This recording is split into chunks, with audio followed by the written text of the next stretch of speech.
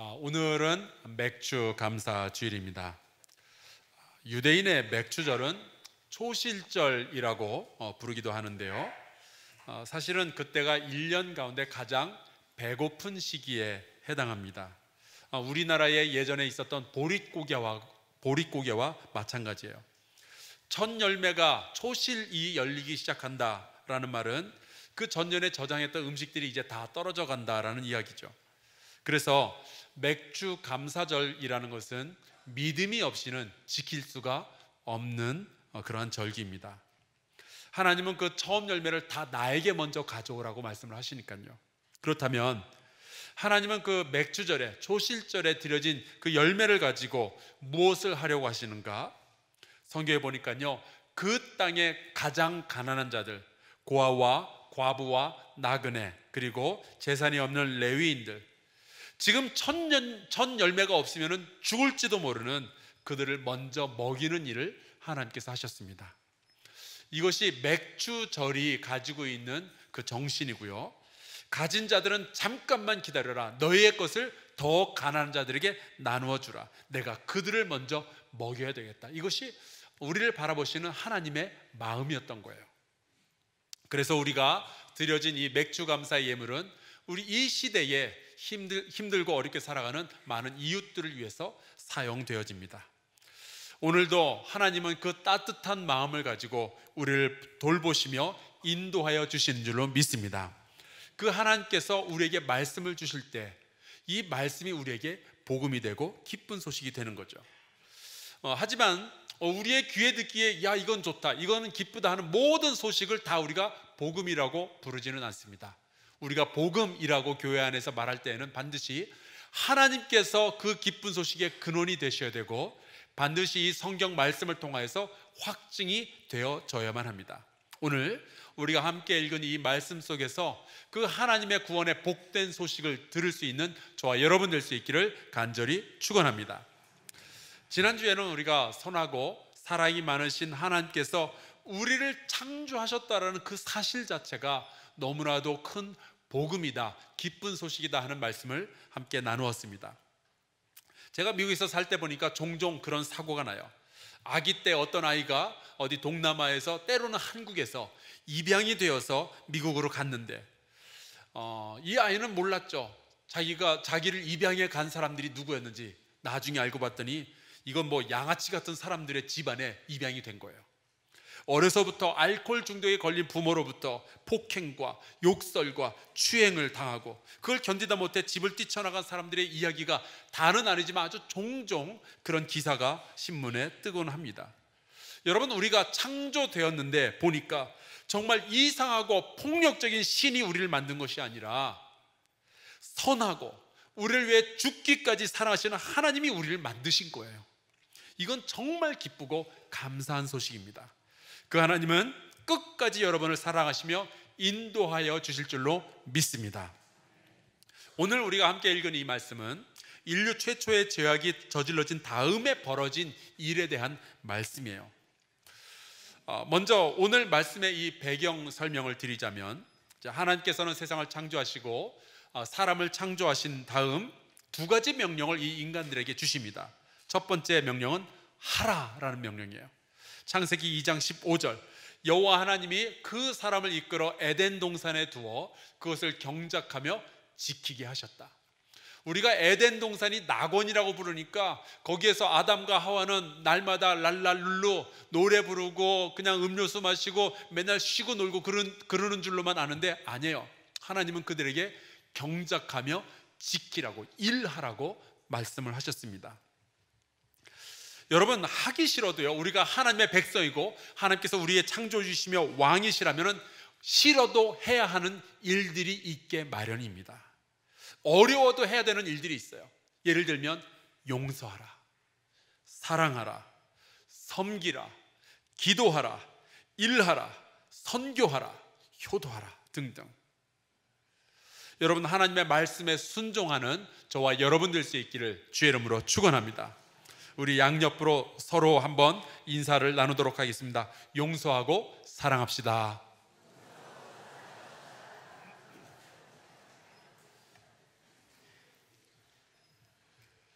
하나님께서 하라고 말씀하신 명령이죠. 그런데 두 번째 명령이 있었어요. 창세기 2장 17절. 선악을 알게 하는 나무의 열매는 먹지 말라. 내가 먹는 날에는 반드시 죽을 것이다. 여러분, 사람은 자유 의지가 있고 자기의 본능이 있고 또 욕심이 있기 때문에 자기가 하고 싶은 일들이 있어요. 그러나 만약에 하나님께서 나를 만드셨고 하나님께서 나의 주인이시고 나의 왕이시라면 우리는 피조물이기 때문에 원해도 포기해야 되는 일들이 있게 마련인 거예요. 그러니까 여러분 죄악이라는 것은 무엇인가? 딱 두 가지예요. 하나님께서 하라고 하셨는데 안 한 것, 하나님께서 하지 말라고 하셨는데 한 것. 그런데 창세기 3장에 보니까 이 두 번째 명령에서 문제가 발생했어요. 먹을거리가 사방에 깔려 있고 하나님은 딱 하나만 먹지 말라고 하셨는데 그거 그거를 굳이 먹어, 먹어치운 거예요. 여러분 죄가 속성이 그래요. 운전하기 전에 우리 마실 게 널렸잖아요. 콜라도 있죠, 사이다 있죠, 맹물 있죠, 보리차 있죠. 그렇게 많은데 왜 하필이면 술을 먹냐고요. 여러분 친구들 마시면 같이 놀게 세상에 수두룩하잖아요. 그냥 같이 앉아서 차 마시면서 이야기해도 되고 같이 농구나 축구 같은 거 해도 되는데 왜 굳이 도박판을 벌리냐고요. 죄의 속성이 있어요.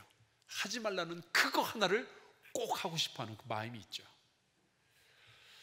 근데 혹시 여러분 가운데 이 선악과 이야기를 읽고 나서 하나님께서 먹는 거 가지고 너무 치사하게 구시는 거 아니냐 그렇게 생각하는 분들이 있을지 모르겠어요. 그런데 여러분 이 어, 창세기에서 말하는 것은요 먹는 것이 문제가 아니라 무엇을 먹었느냐가 문제가 아니라 하나님의 말씀을 무시하고 거역한 게 문제인 거예요. 그런데 이 선악과를 따먹는 과정에서 그것을 부추기고 옆에서 도와준 존재가 하나 있었습니다. 그게 누구예요? 뱀. 그냥 뱀도 아니고 말하는 뱀이에요. 주님께서 에덴 농산에 아담과 하와만 만드시는 게 아니라 땅꾼도 하나 만들어 두셨으면 이런 일이 없었을 텐데 너무 아쉬워요. 여러분 근데 죄를 짓기, 짓게 될 때 그 상황을 한번 잘 생각해 보세요. 반드시 어디에선가 유혹이 있었을 거예요. 그 유혹이 내 안에서 솟아나왔든 아니면 어떤 사람을 통해서 다가왔든 아니면 TV나 어떤 잡지나 어떤 상황에서 우리에게 주어졌던 상관없이 어디에선가 유혹은 있게 마련해요. 죄악의 불꽃에 기름을 붓는 죄악의 기름에 불꽃을 어, 불꽃을 튀기는 어떤 뭔가가 있었을 거예요. 그런데 오늘 말씀해 보니까요. 우리를 죄악에 눈뜨게 하는 것이 무엇이든지 상관없이 죄악의 결과는 참혹해요. 오늘 우리가 함께 읽은 이 말씀은 바로 그 죄를 지은 직후에 일어난 비극적인 이야기입니다. 그런데 제가 이 죄, 죄에 대한 창세기의 말씀을 묵상하는 동안 예전 기억이 어, 솟아났어요. 2006년인 걸로 제가 기억하는데 어, 저희 장모님께서 병원에 가셔서 건강 검진을 받으셨는데 혈액암 진단을 받으신 거예요. 혈액암이라는 게 그렇다 그러더라고요. 어, 진단을 받자마자 말기래요. 4기였는데 어, 이 병이 그때 얼마나 위중한 거니 앞으로 3개월만 더 사실 수 있다라고 진단이 나왔어요. 혈액암이 맞고. 자, 그러면 제가 여러분께 한번 질문 드려볼게요. 저희가 병원으로부터 장모님이 혈액암을 혈액암에 걸렸다라고 진단을 받은 그 소식은 나쁜 소식이었을까요? 좋은 소식이었을까요? 나쁜 소식이죠. 저도 그렇게 생각했어요. 이렇게 슬픈 소식이 있나? 제 아내는 그 소식을 듣자마자 막 울기 시작하는데, 근데 제가 살다 보니까 제 아내는 가끔 그 저희 장모님한테 엄마한테 막 삐지기도 하고 그러거든요. 말도 안 하고 막 그럴 때도 있는데 막상 어머니께서 돌아가실지도 모른다 그러니까 너무 슬퍼하는 거예요. 과연 엄마 딸 사이는 우리 남자들이 이해하지 못할 어떤 그 깊이와 끈끈함이 있는 것 같아요. 그러니까 어, 엄마 딸 사이, 어, 사이에서 막 싸우고 그러는 것 같아도요. 우리 남자들 별로 신경 안 쓰셔도 괜찮을 것 같아요. 어, 그런데 그 딸에 비하면 사위는 아무것도 아니더라고요. 쓸 데가 없어요. 여러분 사위 너무 믿지 마세요. 그런데 세 살 버릇이 여든 간다고 제가 어렸을 때부터 저희 아버지한테 귀가 마르고 닳도록 들었던 이야기가 어떠한 상황에서도 감사해야 된다. 이 얘기를 참 많이 들었어요. 근데 제가 그, 그 소식을 들었는데, 혈액암에 걸리셨다라는 소식을 들었는데, 감사는 해야지. 근데 감사할 조건이 생각이 안 나는 거예요. 제가 그때는 이제 미국인 교회를 섬기고 있었는데, 어, 저는 이제 한국 사람답게 감사 헌금에다 이제 그 제목을 영어로 써서 이렇게 드리곤 했는데, 이렇게 감사 헌금 봉투를 놓고 뭐라고 써야 될지 모르겠는 거예요. 그래서 한참을 이제 기도하는데 갑자기 저한테 그런 상황이 들려 어, 그런 생각이 들어왔어요. 죄송합니다. 이런 생각이 들어왔어요. 어떤 사람들은 자기가 무슨 병에 걸렸는지 진단도 한번 받아보지 못하고 그냥 시름시름 앓다가 죽고 마는데 그래도 너의 장모는 의료보험도 잘 돼 있고 의료 기술도 좋은 나라에서 사는 덕분에 적어도 병명이 뭔지는 미리 알지 않았느냐 하는 거예요. 그러고 보니까 어, 이 병에 대한 진단이 정확하게 나오지 않았더라면 어쩔 뻔했어요. 그냥 두통약 먹고 그러시다가 돌아가실 뻔했잖아요. 병과 싸워보지도 못하고 제가 장모님을 잃어버릴 뻔했어요. 게다가 그 진단이 정확하게 나온 덕분에 치료법도 정확하게 찾아볼 수가 있었고요. 나중에 좋은 의사도 소개받고 또 좋은 병원도 소개를 받았어요. 그래서 살 소망이 있다는 이야기까지 듣게 되는 거죠. 그러니까 그게 감사하지 않은가 하는 거예요.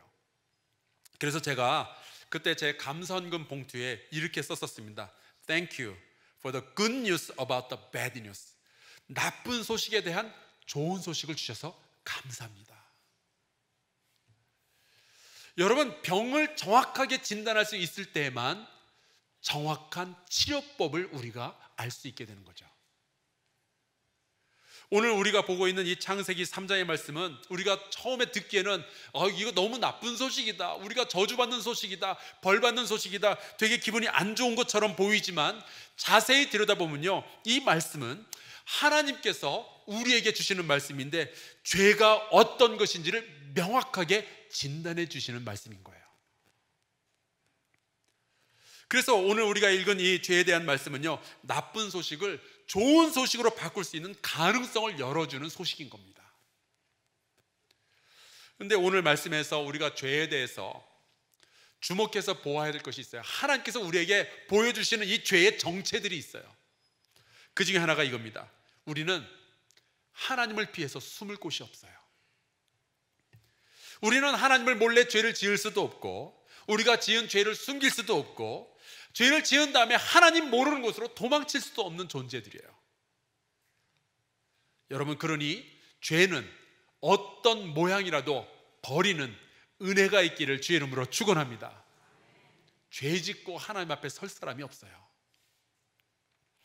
그리고 죄는요 인생을 조곤조곤 파괴해 들어오기 시작합니다. 7절 말씀을 볼까요? 우리가 읽지는 않았지만 어, 이제 선악과를 먹고 나서 자기들이 벌거벗은 것을 알게 됐어요. 그래서 이에 그들의 눈이 밝아져 자기들이 벗은 줄을 알고 무화과 나무 잎을 엮어 치마로 삼았더라. 인류 최초의 친환경 소재로 만든 옷이 바로 이 무화과 나무 잎으로 만든 치마였어요. 하지만 그것으로 자연은 보호할 수 있을지 모르지만 죄 지은 인생을 보호할 수는 없었던 거예요. 죄는요, 우리의 인생을, 우리의 영혼을 수치스럽게 만듭니다. 그리고 이 수치심이 우리 인간의 영혼의 한켠에 자리 잡기 시작하면요, 그것은 그대로 열등감으로 이어지게 돼요. 그리고 이 열등감에 사로잡히게 되면은 결국에 이 문제를 해결하기 위해서 사람은요, 돈과 명예와 아름다움의 노예가 되어가기 시작하는 거예요. 권력을 붙잡으면 이것이 해결될 것 같으니까 사람들이 권력에 눈뜨고 그것을 쫓아다니기 시작하는 거예요. 그 다음에 어떤 식으로 인생이 파괴되느냐? 두려움이 생겨나요. 10절 말씀을 볼까요? 이르되 내가 동산에서 하나님의 소리를 듣고 내가 벗었으므로 어찌하여 두려워하여 숨었나이다. 여러분 죄를 짓고 나면요 하나님이 그 선하시고 그 사랑이 많으신 나의 아버지 하나님이 무서워지기 시작해요. 거리를 두고 싶은 거예요. 원래 아담은요 하나님과 함께 동산을 에덴 동산을 거닐던 사람이었다고요. 그런데 이제는 죄를 짓고 나니까 하나님이 무서운 거예요. 멀리 가고 싶은 거예요. 하나님의 눈 앞에서 숨어버리고 싶은 거예요. 그래서 여러분 죄를 지으면요 거룩함이 낯설어져요. 그 다음에 그 다음에는 이제 사랑의 관계가 깨어지는 식으로 우리의 인생이 파괴되기 시작합니다. 여러분 사랑 없이 우리가 어떻게 살 수 있겠어요? 그런데 여기 보니까 아담과 하와의 관계가 원래 하나님께서 어떤 관계로 맺어 주셨어요? 아담과 하와요. 어떤 관계로 맺어 주셨어요? 부부의 관계로 맺어 주셨어요. 돕는 배필이었고요. 둘이 연합해서 하나가 되라는 관계로 하나님께서 만들어 주셨어요. 그런데 12절 보세요. 아담이 이르되 하나님이 주셔서 나와 함께 있게 하신 여자 그가 그 나무 열매를 내게 주므로 내가 먹었나이다. 남편이 말이죠. 우리 남자분들 잘 들어보세요. 남편이 가정에 어떤 문제가 생기면은 하나님 내가 부덕해서 그렇습니다. 그러니까 아내는 용서해 주시고 나만 벌하면 된다고 그렇게 말을 해야지. 이 남편이 한다는 소리가 내가 죄 지은 건 다 이 여자 때문이래요. 그렇다면 우리 결혼한 여자분들 한번 대답해 보세요. 이 아담이 여러분의 남편이라면 밥을 주고 싶어요? 안 주고 싶어요? 네, 국물도 없어요. 이 모든 이야기를 들으신 다음에 이제 하나님께서 이 죄에 대한 판결을 내려주십니다. 그것이 14절부터 19절까지 이어지는 내용이에요. 16절에 보니까 이렇게 되어 있어요. 또 여자에게 이르시되 내가 너에게 임신하는 고통을 크게 더할 것이다. 여러분 죄는요 지을 때는 혹시 달콤할지 모르지만 그 결과는 쓰디 쓴 거예요. 선악과를 한 입 베어 물을 때는 그것이 얼마나 새콤하고 달콤하고 상쾌했는지는 모르겠지만 그 하나 그 죄 때문에 그의 인생은 고통 가운데 빠지게 된 거죠. 17절 땅은 너로 말미암아 저주를 받고 너는 내 평생에 수고하여야 그 소산을 먹으리라. 여러분 아담과 하와의 죄 때문에 땅까지 저주를 받았어요. 이게 뭐예요? 하나님의 말씀 하나 거역한 것 때문에 수치와 두려움과 관계의 깨어짐과 저주와 고통과 힘든 수고가 이 세상에 들어오기 시작한 거예요.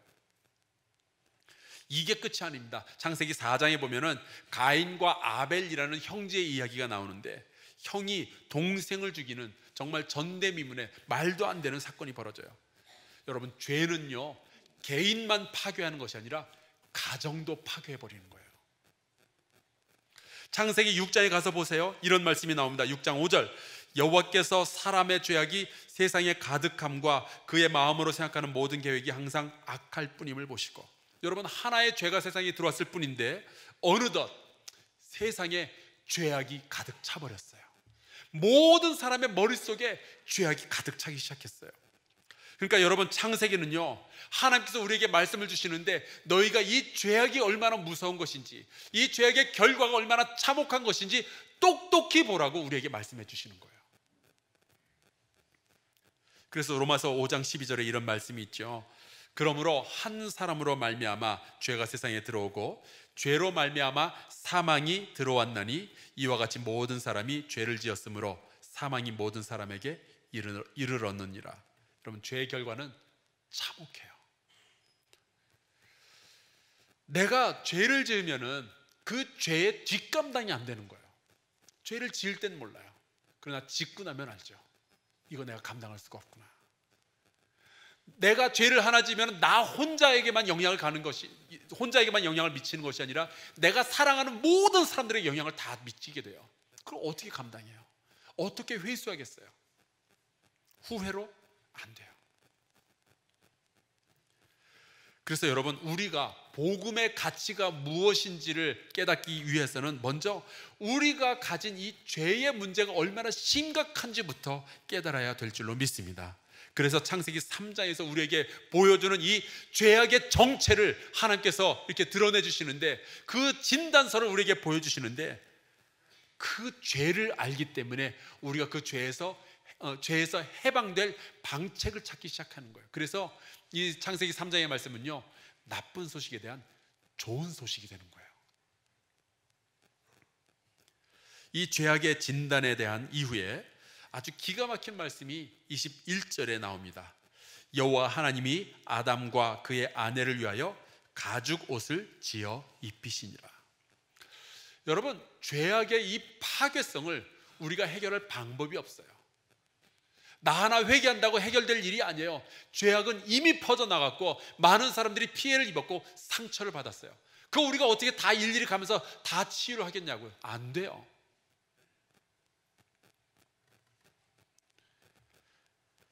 그런데 창세기 3장에서 하나님께서 우리에게 주시는 이 감, 좋은 소식은요. 죄악이 이 죄악이 가지고 있는 그 죄악의 속성과 죄악의 시작과 끝을 명확하게 보여주면서 이것을 정확하게 진단을 내려주시는 거죠. 감사하게도 하나님은 그 죄악의 결과에 대해서도 말씀해 주시지만 이 죄악의 문제를 어떻게 해결할지도 우리에게 말씀해 주시는 거예요. 인간이 지은 죄를 누가 해결하는가? 우리의 죄는 우리가 아니라 하나님께서 해결해 주십니다. 여러분 죄악의 파괴력은 우리 인간이 감당할 수 있는 것이 아니지만 여전히 하나님은 우리를 사랑하고 계시는 줄로 믿습니다. 비록 우리는 죄를 지었지만 우리의 운명은요 죄악이 결정하는 것이 아니라 하나님께서 결정하시겠다라는 말씀을 여기에 심어 주신 거예요. 로마서 5장 15절 한 사람의 범죄를 인하여 많은 사람이 죽었은즉 더욱 하나님의 은혜와 또한 한 사람 예수 그리스도의 은혜로 말미암은 선물은 많은 사람에게 넘쳤느니라. 장세기 3장을 통해서 죄의 정체를 하나님께서 밝혀 주십니다. 여러분 하나님이 아니었으면 우리는 죄에 대해서 완전히 몰랐을 거예요. 그러면 우리의 인생은 정말 엉망이 되었을 거고 우리는 죄와 싸워보지도 못한 채로 그냥 멸망하게 되겠죠. 하지만 하나님은 죄의 정체를 밝혀내심으로 우리가 죄 앞에서 얼마나 무능한지를 알게 해주셨기 때문에 우리가 하나님을 바라보고 은혜를 구하게 만들어 주신 거예요. 하나님께서 왜 이 말씀을 창세기에 기록해서 우리에게 들려주시느냐? 왜 죄의 정체를 우리 앞에서 밝혀주시느냐? 너희가 죄를 졌으니까 너희는 그 죄 속에서 고모양으로 살다가 그냥 멸망받으라고 주시는 말씀이 아니라 너희가 죄를 지었으나 내가 너희를 살려내겠다. 그 말씀을 우리에게 하시려는 거죠. 그래서 우리가 이 창세기 3장을 읽고 죄의 정체를 알게 되면은 그리고 우리를 향한 아버지 하나님의 사랑의 마음을 알게 되면은 그럼 우리는 어떻게 살아야 될까? 히브리서 12장 1절에 이런 말씀이 있어요. 모든 무거운 것과 얽매이기 쉬운 죄를 벗어버리자. 그리고 인내로서 우리 앞에 당한 이 인생의 경주를 끝까지 달려나가자. 선하고 사랑이 많으신 하나님은요, 우리에게 죄의 처음부터 끝까지를 다, 그 정체를 다 드러내어 주셨어요. 그 말씀을 들은 우리는 마땅히 죄를 피하고, 죄와 싸우고, 죄를 벗어버리고, 하나님께서 주신 거룩한 삶으로, 삶으로 매일같이 돌아가기 위해서 애쓰고 기도해야 할 줄로 믿습니다. 하나님께서 그 은혜를 저와 여러분에게 풍성히 부어주시기를 간절히 축원합니다. 우리 함께 찬송가 320장 부르고 잠시 좀 기도했으면 좋겠어요. 찬송가 320장의 가사 내용이 이렇습니다. 나의 죄를 정케하사 주의 일꾼 삼으신 구세주의 넓은 사랑 항상 찬송합니다. 3절 죄의 짐을 풀어주신 주의 능력 크도다 나를 피로 사신 예수 내 마음속에 오소서 우리 같이 찬양하고 거룩함을 위해서 함께 기도하겠습니다.